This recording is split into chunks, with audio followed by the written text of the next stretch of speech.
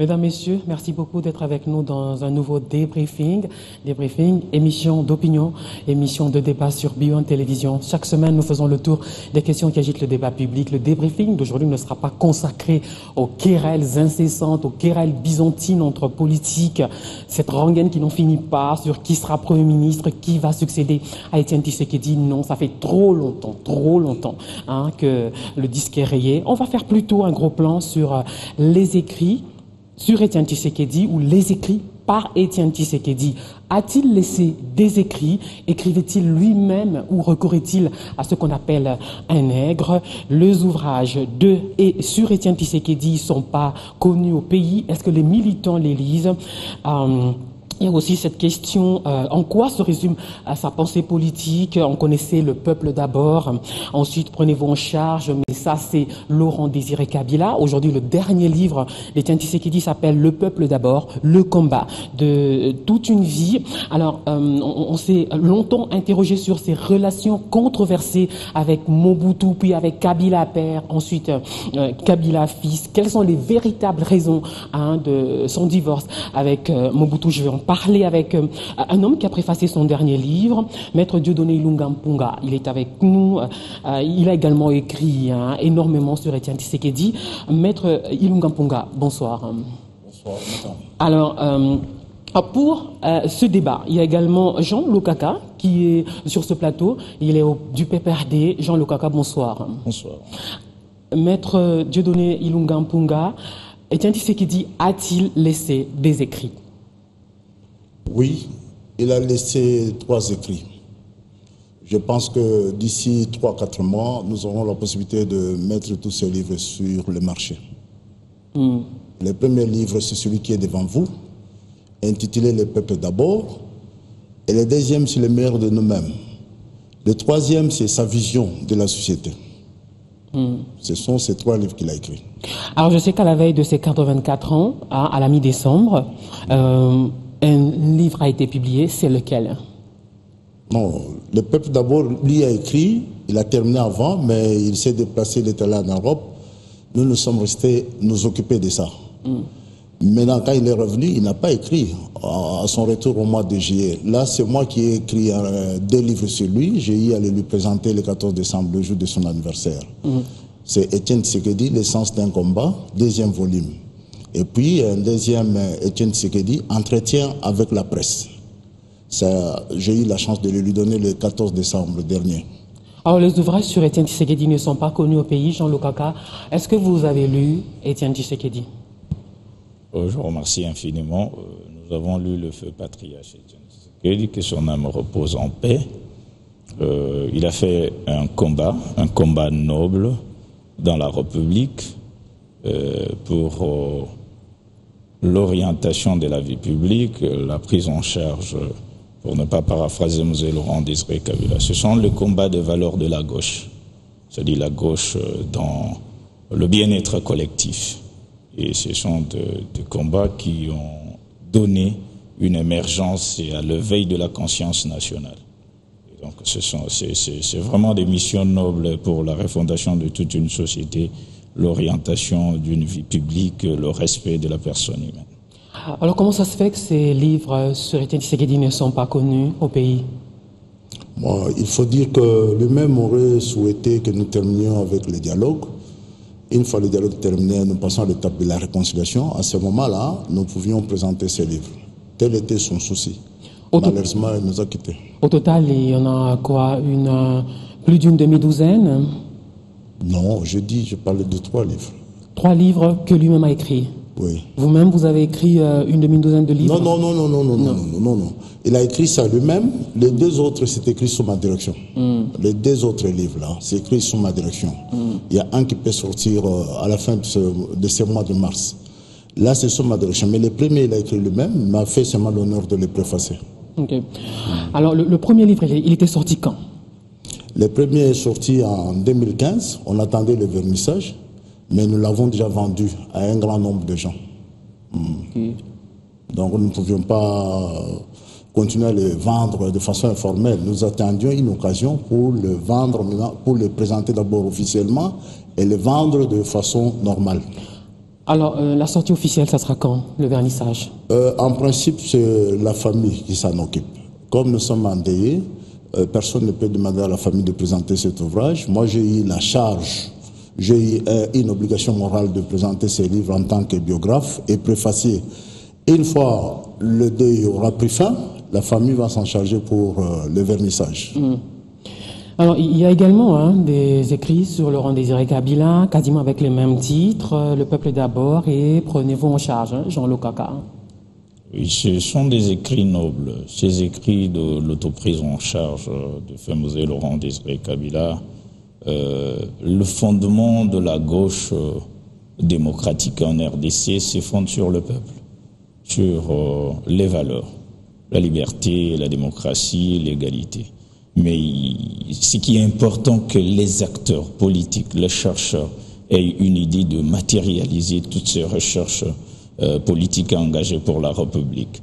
L'essentiel maintenant, c'est la promotion de tous ces ouvrages. Parce que c'est bon de parler après la mort, mais dès le vivant, il y a lieu de faire les publications. Je vis quelques ouvrages, j'ai entré avec l'Armatan. C'est une grande maison d'édition et l'Armatan doit faire un effort avec tous ces chercheurs de publier. Parce que mettre ces ouvrages à la portée des Congolais va donner une idée sur des débats scientifiques et de vérifier l'authenticité de tous ces écrits, des valeurs, des correspondances. C'est-à-dire sur le plan éthique, c'est normal, mais il y a lieu de revaloriser les traits congolais aussi. C'est- C'est important pour commémorer les mémoires de tous les aïeux, le père fondateur de, de la pensée de la gauche congolaise, euh, euh, Mzé Laurent Désiré Kabila, et puis euh, le feu Etienne Tshisekedi. C'est au niveau de, de, renouvellement de, la pensée de tous les Congolais qui concourent ces acteurs, de tous ces chercheurs, d'avoir une idée, de promouvoir l'essence des combats pour ne pas faire de ces combats des combats de vie morte. Alors, euh, Le peuple d'abord, le combat de toute une vie, ce, ce livre d'Étienne Tshisekedi lui-même euh, reprend donc euh, des extraits de ses interviews, ses meetings, ses discours, ses lettres, etc., etc. En fait, tout ce qui, lui a permis de mettre en cause hein, les régimes Mobutu, Kabila père, Kabila fils. On, va commencer par le dernier chapitre et il y a sa prestation de serment plutôt, sa prestation de serment du 23 décembre euh, 2011. C'est- C'est le dernier euh, chapitre. Non seulement lui, le peuple a cru que c'est lui qui a été élu. À ce titre-là, il devait prêter serment. Et il devait le faire d'ailleurs à la place publique, au stade. Mais on l'a empêché de le faire. Et il l'a fait de façon symbolique chez lui. C'est lui à la maison. Oui, à la maison. En clair, euh, c'est une prestation de serment que vous aviez contestée, que vous continuez à contester. Pas contesté, mais sur en termes de la gestion d'État. D'une manière générale, une prestation des serments respecte un certain nombre de mécanismes institutionnels, et ce qui n'a pas été le cas. Alors, dans le cas échéant ici, c'est un cas privé qui, par l'adhésion populaire de la masse qui concourt le leader, il peut avoir une connotation euh, naturelle pour eux, mais pour des raisons d'État. L'essentiel serait le respect de l'éthique égalien de l'État congolais, et là, nous ne pouvons pas, à ce titre, qualifier de ça une prestation de serment du pou- du pouvoir d'État en RDC. Il écrit ceci Ma prestation de serment a été contrecarrée par un impressionnant déploiement des militaires et policiers qui ont quadrillé le périmètre euh, concerné. La foule a été dispersée à coups de gaz, lacrymogène et tirs euh, de balles à- en l'air. Oui, je remercie les contradicteurs, ils raisonnent bien, mais il faut savoir que Tshisekedi joue le rôle de maître ici? En tant que père de la démocratie, il est en train de montrer qu'il faut avoir la tolérance. Mais la vérité est ailleurs. Pour preuve, on a mis trop de militaires à gauche, à droite. S'ils savaient qu'ils n'étaient pas élus, personne n'irait euh, déranger les stades des martyrs. Donc ici, nous faisons, sur- le plan de l'histoire, nous faisons un effort. Disons, Étienne est en train de faire un effort que la classe politique, le peuple congolais, puisse quitter la société qu'on appelle la jungle, où la, loi du plus fort est la meilleure. Celui qui a les armes, celui qui doit avoir nécessairement le pouvoir. Lui veut nous amener dans une société de culture, où c'est les textes, où la vérité, la transparence, toutes ces valeurs universelles doivent faire face, doivent devenir une réalité au Congo. Mais comme euh, les forces de l'obscurité sont encore fortes, il a de le faire chez lui à la maison. Mais la vérité, elle reste. Aujourd'hui, le président Tshisekedi est mort. Il y a des gens qui ont déposé des gerbes de fleurs comme président légitime du Congo. Donc, euh, des personnalités politiques belges notamment. Belges, oui, ça, ça, montre que l'histoire est têtue. Comme Galilée avait dit, la vérité est le fruit du temps et non de l'autorité. Celui qui, a, celui qui a la force, il peut prendre le pouvoir. Mais c'est la jungle. Et c'est d'ailleurs, ça ne commence pas aujourd'hui, c'est depuis 1960. La guerre qui a existé avant l'indépendance entre les conservateurs et les progressistes. Les conservateurs, ce sont des marionnettes qui arrivent au pouvoir au service de quelqu'un ou euh, de, de forces multinationales. Mais Étienne est en train de faire tout pour nous amener dans la phase progressiste, où l'homme, comme le, le contradicteur a dit, l'homme trouve sa valeur. Mais nous ne pouvons pas vivre comme des animaux. Celui qui a la force prend le pouvoir, même s'il n'a pas été élu. Là, il nous a laissé des leçons que les gens apprendront, la postérité apprendrait. Hein? Parce que euh, on peut être au pouvoir, mais sans avoir une certaine légitimité. Or, chez nous, on se réfère toujours à la légalité. Comme il dit, il faut les conditions. Mais du point de vue légitimité, on est toujours à côté. Je crois que c'est ça. Alors, euh, il y, a également hein, euh, ce chapitre sur euh, la fin de la campagne électorale et son retour à Kinshasa en provenance de Matadi. Il n'avait pas pu atterrir à l'aéroport de Ndjili. Il l'a fait à l'aéroport d'un Dolo après moult tergiversations. Et là, il écrit ceci. La mobilisation au sein des fédérations quinoises était totale. Pour m'accueillir lors de mon retour de Matadi, je devais atterrir à Ndjili au début de l'après-midi du 26 novembre. Mais euh, euh, je vais sauter un peu. Euh, le commandant de l'aéroport de est accusé par l'UDPS et par moi-même d'avoir tenté de provoquer un accident d'avion lors de mon retour dans la capitale. En fait, on, l'avait empêché d'atterrir à Njili. C'est ce que lui a dénoncé notamment tout à l'heure. C'est celui qui a les armes, c'est celui qui a l'armée qui est le plus fort, qui fait la loi. Madame, la, question fondamentale serait, pour lui, c'est de requalifier le concept de base du départ. Comme écrivain, il y a des faits qu'il faut affirmer sur le plan social, sociologique, ce qu'on a vécu. Mais pas rendre ces faits institutionnels. C'est historique. Hein, c'est dans le cadre de la restitution. Mais ça s'était passé ainsi, vous vous rappelez, hein, la, la, clôture de la campagne électorale? La question majeure ici est celle de savoir les mécanismes d'organisation de la société pendant les élections. C'est-à-dire l'État congolais s'occupe de la protection des personnes ainsi que de leurs biens, de la circulation des personnes. Et quand il y a une manifestation ou une cérémonie et que ça empêche la circulation, parce que les fondements du feu patriarche, son âme repose en paix, c'est sur les valeurs humaines. Et donc, vous pouvez faire le meeting, mais quand il y a perturbation de l'ordre public, l'État, par le mécanisme de services appropriés, peut empêcher qu'il y ait débordement. c'est dans le sens de protéger en amont comme en aval. Parce que quand il y a un problème en amont, on peut dire que c'est le pouvoir. Alors qu'il y a des gens qui peuvent euh, mettre des vies en danger, mais ils ne sont pas euh, du pouvoir. Dans ce genre de choses, ceux qui ont la sécurité publique et l'ordre social, ceux qui ont la charge de réguler les fonctionnements et la circulation des personnes, peuvent empêcher pour protéger les vies humaines, en amont comme en aval. Alors vous, le comprenez quand ils disent que c'était pour des raisons de sécurité, pour éviter euh, euh, éventuellement un bain de sang qu'on avait. Non, madame. Hmm. Il faut dire que la parole cache sa vraie pensée. Il raisonne très bien pour quelqu'un qui n'a pas été au pays. C'est qu'il faut dire que la popularité de Tshisekedi a dérangé plus d'une personne. Aujourd'hui, comme il dit que son âme repose en paix, je crois qu'ils ont la paix, la joie. Parce que son charisme a dérangé. Hein, je crois, et puis on peut dire une petite erreur parce que le président Tshisekedi devait euh, passer ici comme dernière étape. Et ils ont fait tout pour qu'il n'arrive pas. Ils ont même demandé que l'avion n'atterrisse pas, même en dolo, qu'il aille atterrir à Brazza. C'est quel type d'élection que nous faisons au XXIe siècle mm. Un candidat qui fait sa campagne électorale doit finir par un autre pays qui n'est pas le sien. Là, il faut dire qu'il y a à boire à manger dans ce que tu dis. Je pense que tu es en train de dire, euh, d'avancer des arguments, mais au fond, tu, as une autre lecture des faits. Alors, il y a eu ces violences qui avaient émaillé euh, cette euh, fin de campagne électorale. À ce propos, il écrit J'ai dénoncé aussi la violence dont la permanence de l'UDPS à Limité a été l'objet dans la matinée du 27 novembre 2011 de la part des policiers envoyés pour arracher trois corps de ces gardes abattus par les soldats qui les ont séquestrés la veille entre 15h et 23h30. Cette attaque de la permanence de mon parti a aussi fait plusieurs blessés. Il y avait eu beaucoup de violence, des morts et des blessés lors de cette euh, fin de campagne électorale. Je- J'insiste sur la requalification de l'organisation des partis politiques en République démocratique du Congo. Je dis, les partis politiques encadrent les, cadrent les militants pour les socialiser et les intégrer dans la gestion de la République en RDC. Mais l'essence de la violence qui caractérise le parti politique en RDC peut être qualifié du terrorisme, des actes en- dehors du fonctionnement normal. Et là, il y a des missions égalières.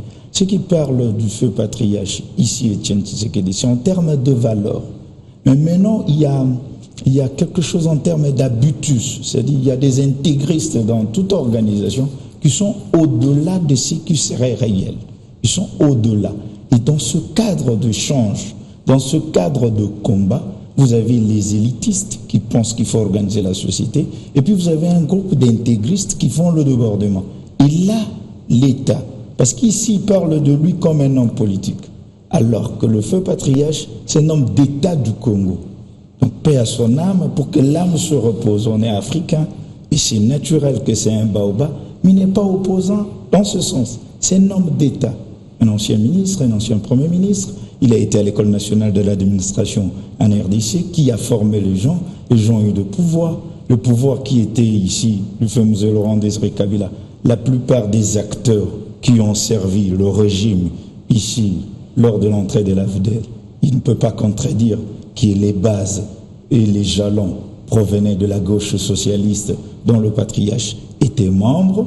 Donc il ne peut pas faire des contradictions parce qu'il y avait des anciens qui ont fondé ce pouvoir. Mais il y a une éthique de responsabilité, des formations, des socialisations pour la protection de la vie humaine. Alors, si je comprends bien, ces violences euh, sont imputées aux euh, combattants, aux militants de DPS Les violences en RDC ne profitent pas en amont comme en aval à la majorité à l'opposition. On est d'abord peuple congolais. Quand il y a mort d'homme, toutes les tendances pleurent. La responsabilité des violences La en responsabilité, par exemple. la responsabilité des violences est attestée par des juridictions appropriées pour qualifier l'auteur.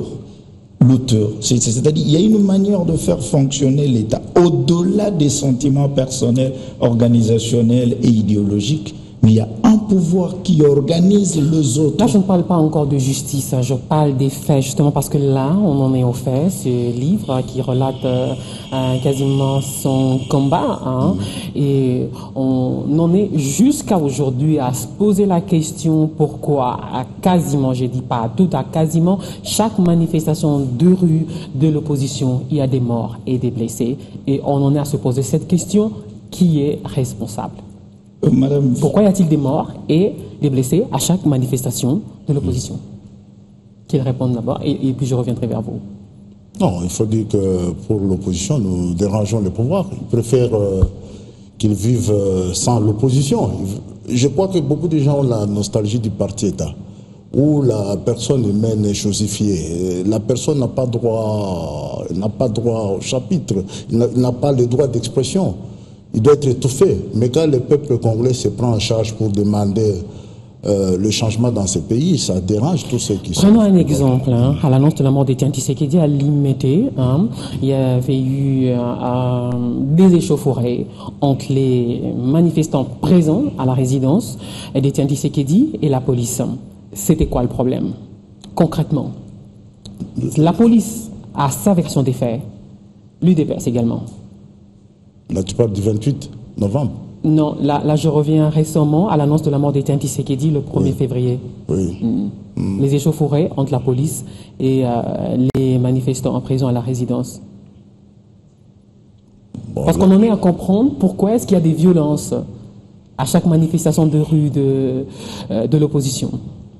Mais vous savez que même euh, quand on parle du 11 euh, mars, le retour du corps d'Étienne, je crois que le pouvoir n'est pas du tout content que le corps rentre ce jour-là.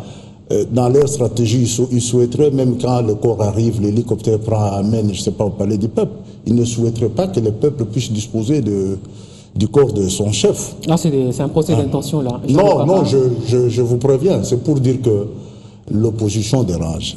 En principe, le parti qui devait être au pouvoir, c'est celui qui a la grande majorité du peuple. Mais comme la minorité, bah, disons PPRD, c'est un grand parti, ça, il faut que je, je, le dise, mais il est petit par rapport à l'IDPS. L'IDPS est populaire. L'IDPS dérange sur ce plan-là. Alors, quand on met quelques gens sur la rue, il faut les effrayer, les intimider pour qu'ils n'aient pas le courage de descendre sur la rue. Hmm. C'est ça les objectifs que le pouvoir s'est C'est tout à fait normal que nous soyons tués à chaque instant que nous descendons. Alors, il va, il va répondre sur deux volets. Pourquoi hmm. il y avait eu des échauffourées à l'annonce de la mort d'Étienne Tshisekedi le 1er février dernier? Euh, Moi, je ne qualifie pas le mot en termes de concept et tuerie. Parce que là, c'est sûr. Dit, ah, c'est lui qui a dit sur, Moi, j'ai dit échauffourée, j'ai dit tension. Il y avait une vive tension à limiter. Les vives tensions existaient. Il y a ceux qui ont la charge de restaurer l'ordre public. Ils ont la manière d'agir conformément à leur statut et ainsi qu'à leur protection. Mais il y a une donne que nous devons tous concourir. Il est de la gauche comme nous. Nous sommes de la social-démocratie. Et donc ici, nous militons sur les mêmes valeurs. Que les gens aient eu l'idée sur la liberté, sur la justice distributive, sur l'égalité. Tout est centré sur le peuple, l'homme. Hein. pour ne pas paraphraser le professeur Henri va sur Ubuntu, la philosophie consacrée sur le bien-être de l'homme. Donc nous sommes tous d'accord. Ce qu'il lit, nous tous, nous le voulons. Mais il y a des mécanismes d'éjection où il y a des choses qui ne marchent pas. Mais là-dedans, vous ne pouvez pas dire que c'est le pouvoir. Euh, il y a un climat relativement euh, stable. Après la mort d'un géant, les discussions pouvaient s'arrêter pour ceux qui sont sages en Afrique, parce qu'il n'était pas n'importe quelle personne. C'est un père d'une nation, pas pour vous l'IDP, c'est un homme d'État de la République qui est parti.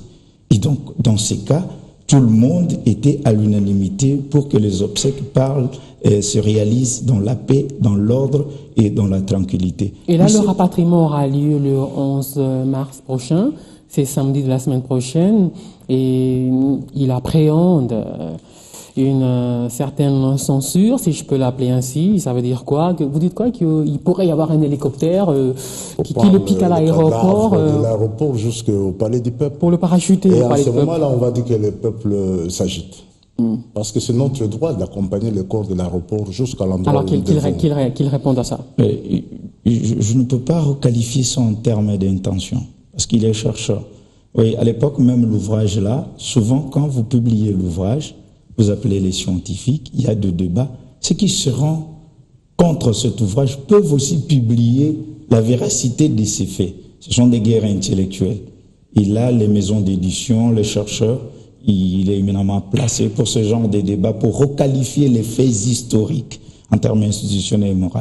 Mais quant à ce sujet, il y avait d'abord un problème de ce processus dialogique qui va faire chuter par un compromis d'accord. Naturellement, il est parti. Mais il y a un débat familial d'organisation entre rassemblement UDPS, la famille, le lieu, le culte. C'est tout le monde dans ce genre de débat et le pouvoir égalien. Ici, la question fondamentale n'est pas d'ordre idéologique, familial, euh, tribal, entre guillemets, pour ne pas aller dans d'autres mots. La question, c'est raison d'État.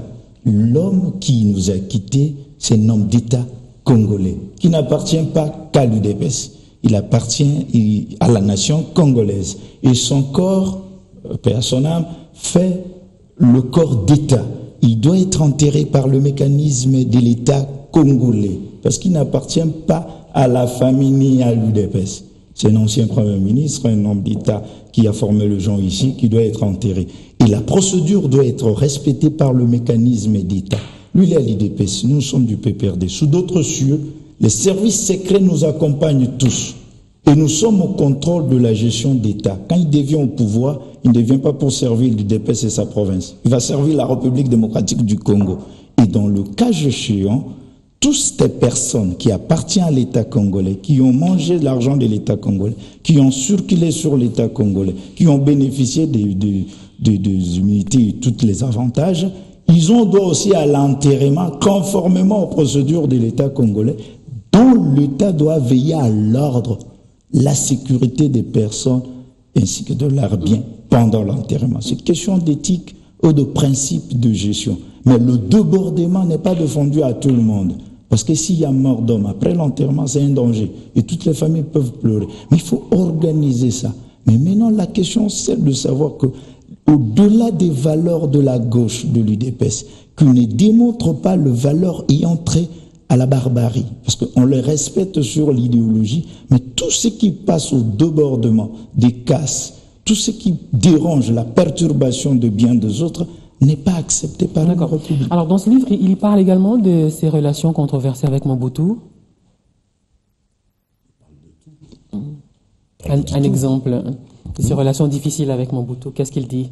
Au début, là, c'est écrit. Il dit qu'il a fait confiance en Mobutu. Il croyait qu'il allait évoluer dans les sens positifs. Et puis, s'est rendu compte que le monsieur était, était dans son schéma très dysfonctionnel. Et il s'est ressaisi pour commencer l'opposition. Parce que c'est comme il dit là, le, le, contradicteur dit, vous avez des valeurs que vous connaissez théoriquement, mais il faut les mettre en pratique.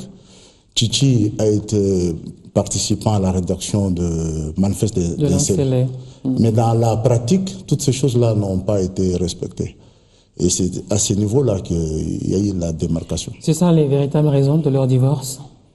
Bon, il peut y avoir beaucoup de raisons, parce que là, là, non, là, c'est quoi les autres? Là, là, c'est, moi qui réponds, parce qu'en mm. principe, c'est lui l'auteur qui devait répondre à une question comme celle-là. Mm. Moi, d'après Vous ce êtes que son j'ai lu- biographe? Mais d'après ce que j'ai lu, il a vu que le mouvement d'IMPR était dysfonctionnel. Il fallait se ressaisir, puisque déjà en 67, on avait prévu qu'il y ait un deuxième parti. Et lui-même me dit quelque part qu'il fallait du temps pour prendre ce courage de chercher c'est le deuxième parti. Puis ce n'était pas à Mobutu de dire aux Congolais, faites le deuxième parti pour vous opposer à moi. Il fallait que les gens se prennent en charge. Comme nous venions de dire que Kabila, tout le monde parle de la prise en charge. Le peuple C'est pris en charge. Tout hein. C'est pris en charge. Parce que euh, après 15 ans d'indépendance, il fallait faire euh, l'état de lieu. Est-ce qu'il y a une évolution positive? Et les 13 parlementaires, là, dans les lettres de 52 pages, ils ont vu que au lieu d'avancer, nous on reculait. Alors il fallait arrêter la machine. Ils ont averti les gens avant. Et quelque part, ils parlent même de Lito, qui dit qu'il avait déjà dit bien avant que vous allez, nous allons nous entrebouffer. Donc la situation ne faisait que dé- dégringoler au fur et à mesure que nous vivions. Alors c'est en ce moment-là qu'ils ont fait la remise en question. Du système avant, avant de monétaire créer au niveau des de- personnes, on va y revenir. Alors, ces relations difficiles avec Mobutu, euh, vous en avez des exemples? Vous, savez, la plupart des opposants euh, africains commencent par être des amis. Commencent par être des amis. En dehors de relations interpersonnelles d'amitié, il y a des divisions internes d'ordre moral, physiologique et philosophique. Et c'est comme ça que les uns se démarquent par rapport aux autres.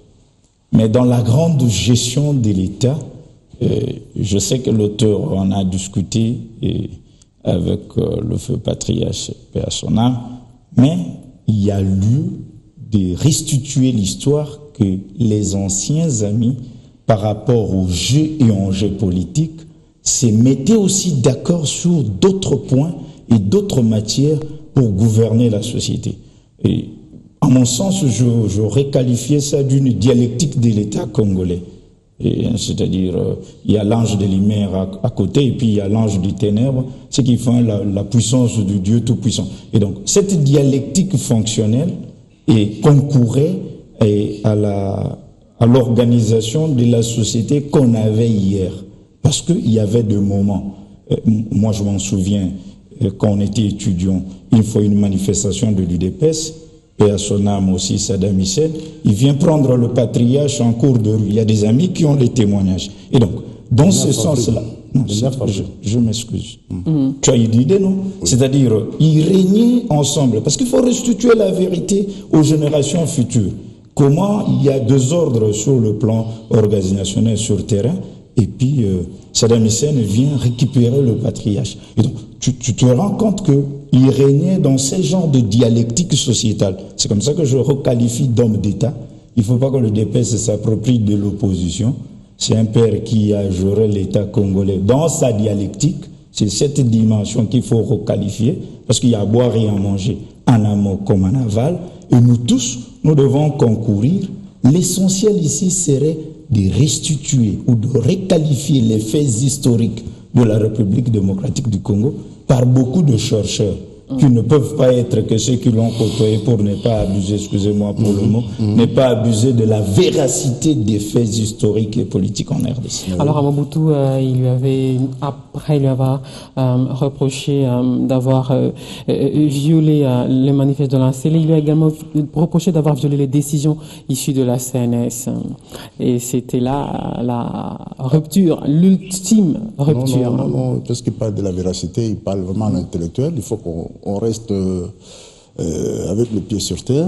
Donc il faut dire que quand il parle de la dialectique fonctionnelle, en 1965, quand Mobutu prend le pouvoir, tous ces gens-là, c'était des compagnons de la révolution. Mais lorsqu'il a commencé à les envoyer à gauche, à droite, ambassadeurs, hein, je crois que c'est un peu ça, euh, à un certain moment, ils se sont sentis frustrés, qu'ils n'étaient pas dans la chose. Il fallait organiser la chose autrement. Parce que quand vous envoie, vous êtes ambassadeur. Vous savez, le rôle d'un ambassadeur et le rôle d'un collaborateur sont deux choses différentes.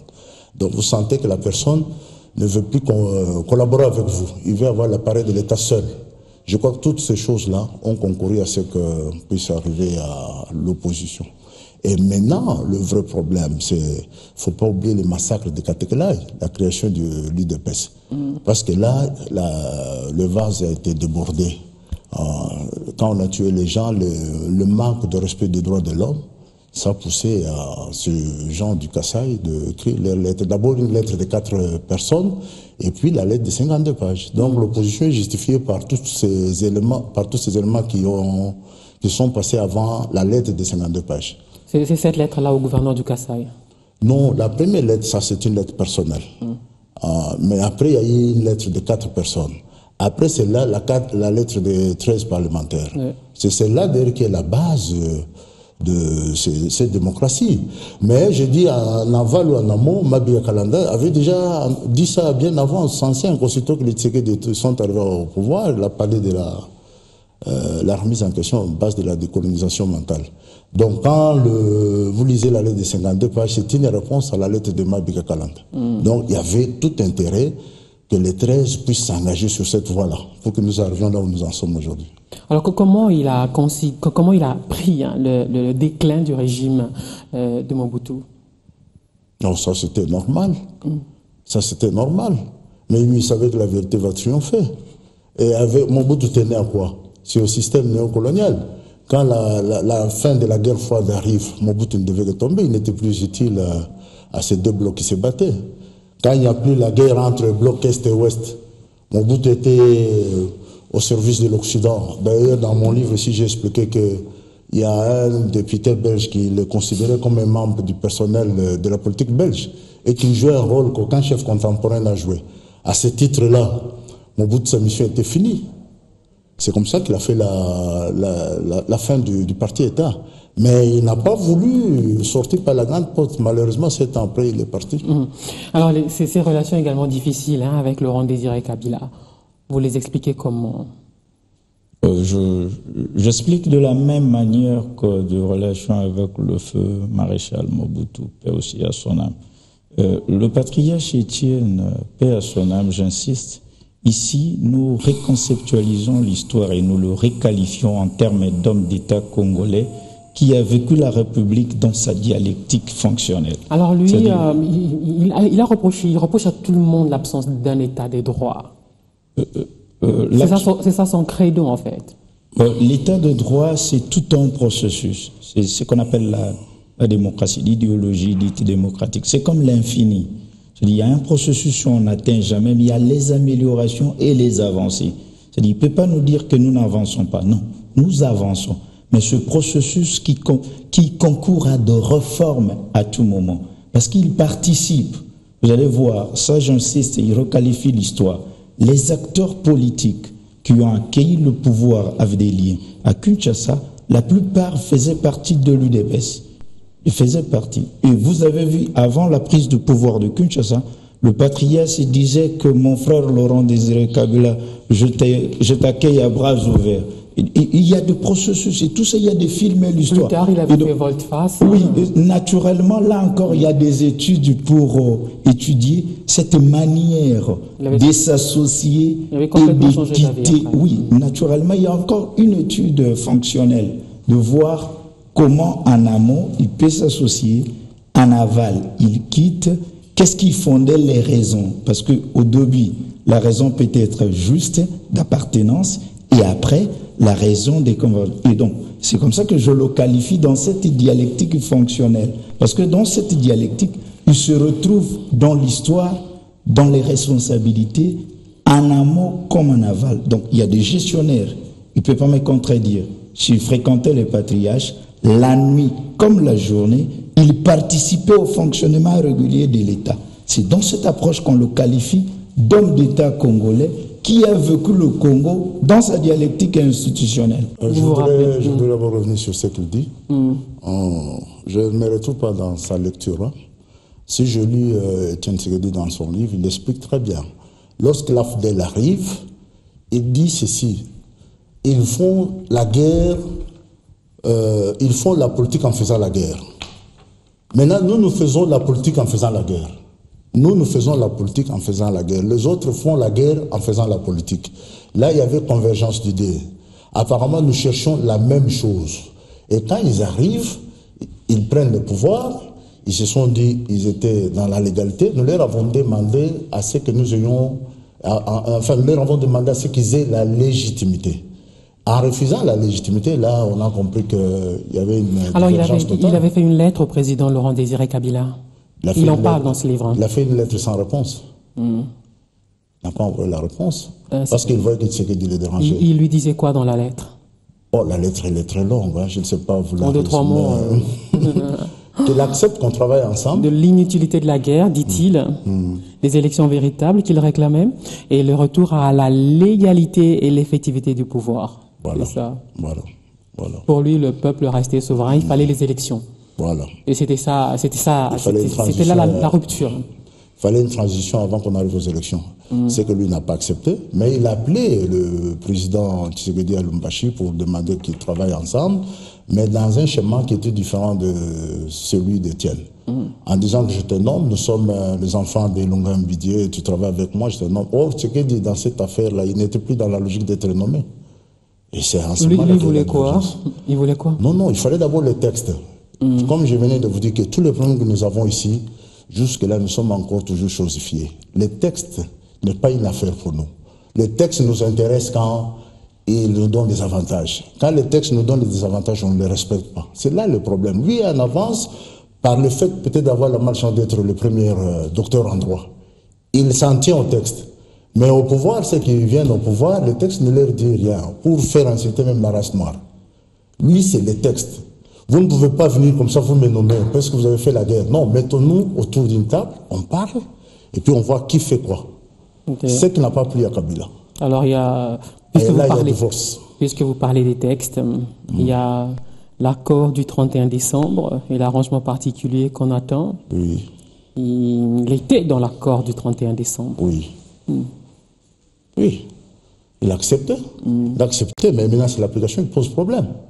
C'est que chez nous, euh, d'ailleurs j'ai suivi même si c'est M. Moïse Moussangana qui demande au chef de l'État de respecter ces textes.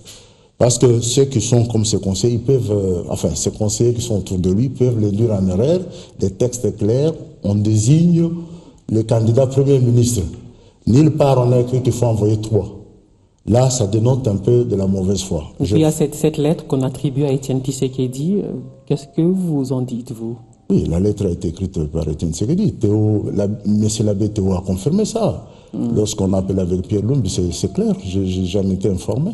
Okay. Euh, Vous saviez que ça existait, cette lettre, avant qu'on en parle dans les médias a déjà confirmé, non? Mm. euh, Je savais que avant la lettre en parle était dans les médias. Oui, oui, moi j'étais informé. Alors au pouvoir, on... On ne croit pas trop à l'existence d'une lettre venant d'un Non, il y a, d'autres raisons. Jean-Luc vous n'y croyez pas trop hein, à cette lettre c'est pas question des croyances, c'est question de la, de la démarche. Vous savez, c'est- un processus euh, relativement calme. Il y a eu un temps mort pour respecter la mémoire du, du patriarche, que son âme repose en paix, même s'il refuse ça pour d'autres raisons. C'est la centième fois que vous dites Oui. ça.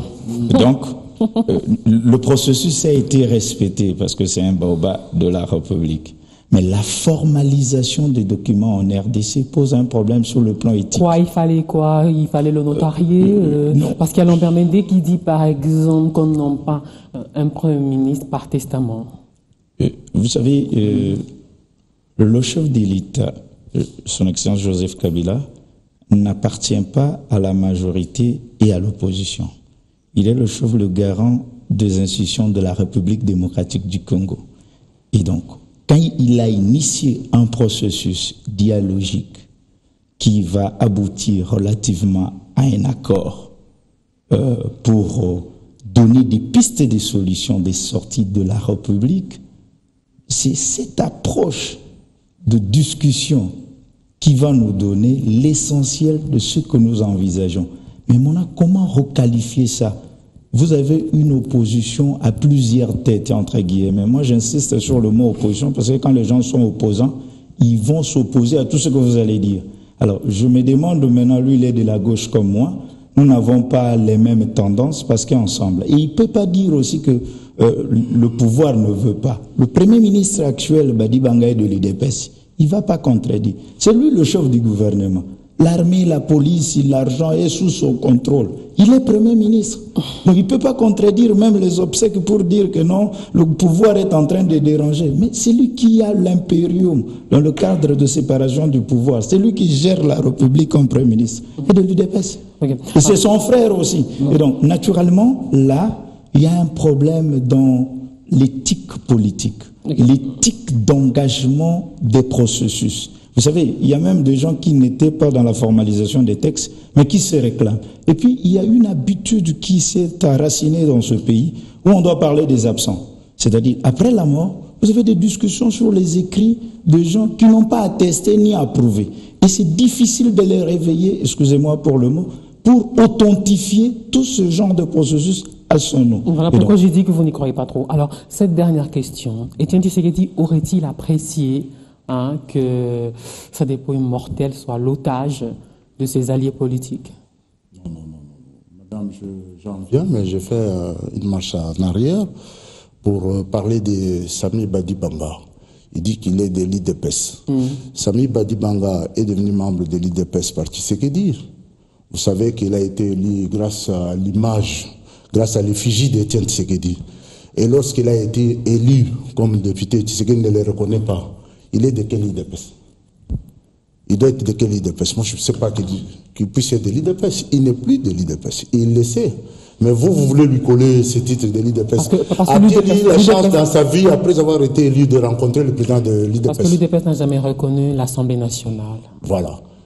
Et le Premier ministre qui viendra de à du, du rassemblement sera investi par la même Assemblée nationale. Quand la majorité accepte de négocier avec le rassemblement, dont Étienne Tshisekedi est président, et c'est le même monsieur, la même personne là ne reconnaît pas euh, Sami Badibanga. Et vous- comment vous voulez les mettre ensemble, qui sont tous euh, de l'IDPS Non, je parlais de l'investiture du gouvernement qui va fournir le Premier ministre euh, de l'UDPS à venir. Hein, Vous dites pour l'Assemblée? Oui, il passerait à l'Assemblée, parce qu'ils ont accepté que la Constitution, que- que- qu'elle a encore la vie. Ok.